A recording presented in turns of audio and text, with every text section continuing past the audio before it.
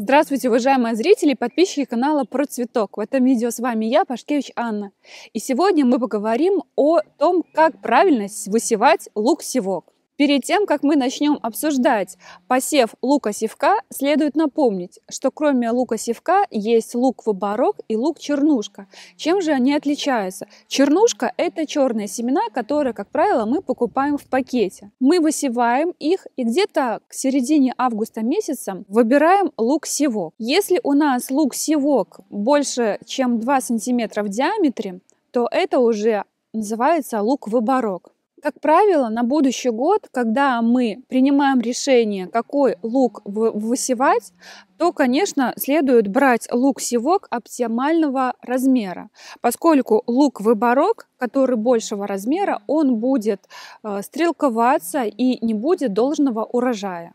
Соответственно, первое и самое важное – это откалибровать свой посадочный или посевной материал и выбрать луковицы относительно одинакового размера – 1,5-2 см в диаметре максимум. Второй немаловажный момент, который следует соблюдать при высеве лука-севка, это обработка посевного материала. Для того, чтобы предупредить развитие различных фунгицидных заболеваний, следует замочить посевной материал в различных растворах. Например, приготовить растворы из 5 столовых ложек соли на 1 литр воды. Выдержать лук-севок в данном растворе в течение двух часов. Также можно выдерживать посевной материал лука в растворе марганцовки, чтобы концентрация марганцовки была насыщенного рубинового цвета. Выдерживать в растворе калий марганецу 4 можно на протяжении 4-5 часов. После того, как мы выдержали наш посевной материал в дезинфицирующих растворах, можно сразу приступать к высеву, а можно при необходимости сложить его в пакет и высевать на следующий день. Третий немаловажный момент при высеве лукосевка – это глубина заделки луковицы. Она в идеале должна быть равна э, двум размерам луковички. Если мы будем высевать лук-севок, э, немного погрузив его в землю, то по мере того, как он будет э, уходить корневой системой, надземная часть будет пересыхать, и таким образом мы также не доберем в урожае. Схема посадки лука-севка будет определяться сортовыми особенностями.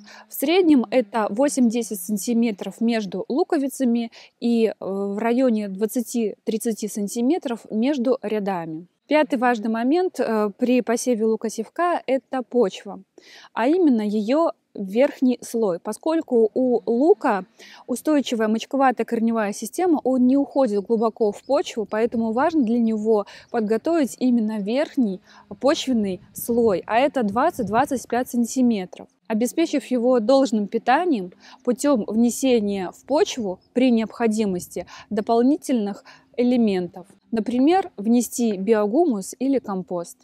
Шестой момент, на который стоит обратить внимание при э, высеве лука-севка, это то место на участке, которое вы отведете под данную культуру. Лук относится к светолюбивым культурам, по этой причине, если вы будете высаживать его в теневые участки на своем огороде, он может стрелковаться или образовывать э, толстую шейку. Есть даже такое понятие, как толстошейный лук. Чем чревата толстая шейка? Как правило, такие луковицы, они достаточно долго э, высыхают и даже могут загнивать. И, как правило, э, плохо хранятся. Седьмой и завершающий аспект при э, посадке лука-севка – это сроки.